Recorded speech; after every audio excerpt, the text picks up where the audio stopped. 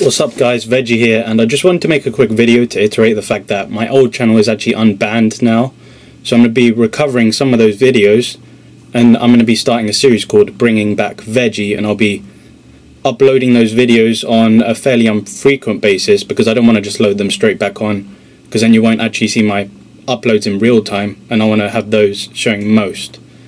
So the fact of the matter is I'll probably be uploading one a week, the Bringing Back Veggie series and it, it will consist of some of the best videos from my previous channel because I know a lot of the videos on there are actually quite bad quality and I wouldn't actually put them on this channel.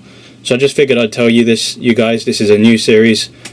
All the videos that I'm going to be um, re-uploading on this channel will be marked with a BBV tag. So you'll see it in the title that um, it's a past video re-uploaded on this channel. And it will only be exclusively good videos I had on my last channel that I want to bring over because let's face the facts, I didn't really know as much about bodybuilding back then than I do now, but I still had some good points raised that I want to reiterate.